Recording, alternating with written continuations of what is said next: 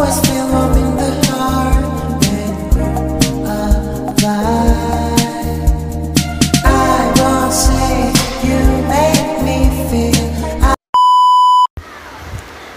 mga kikays! Nandito naman tayo sa panibagong unboxing video. And ito nga, umorder tayo sa Lazada ng selfie stick. O, ayan, diba? So, ang bilis na dumating. Parang mga 3 days lang dumating na siya since I ordered. Pero medyo, ayan, kita nyo naman yung box, tupi-tupi na. Kaya medyo disappointed ng konti. Pero it's okay. Tingnan natin ang quality ng item. Kung sulit sweldo nga ba talaga. Kagaya ng sapi sa last mall. Ayan. Feeling ko maganda naman yung quality niya. Tsaka parang maganda yung pinaka-item talaga. Tagal ko na gusto magkaroon ng ganito. eh. Ano, para naman ma-feel kong pagiging vlogger. Kahit na konti lang yung subscribers natin.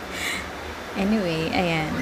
So, ito yung lalagyanan ng phone. Since phone lang naman din yung ginagamit natin. So, naiikot rin siya. Ayan. O, diba? Yung grip niya, maganda in fairness. Saktong-sakto sa kamay natin.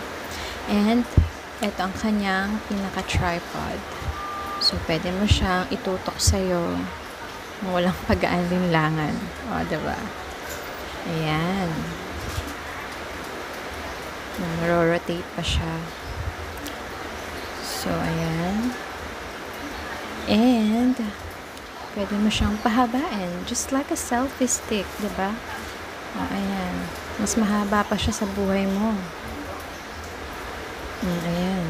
Mahaba rin siya, in fairness. Ayan. So, ito na nga yung shutter issue na hinahanap ko kung nasaan siya sa box. Wala akong makita. Yun pala, nade-detach siya dito. So, muntik na sumabog ang ulo ng lola niya, no? At magreklamo na sana. Buti na lang, nagbasa ako ng direction sa box at saka ng reviews.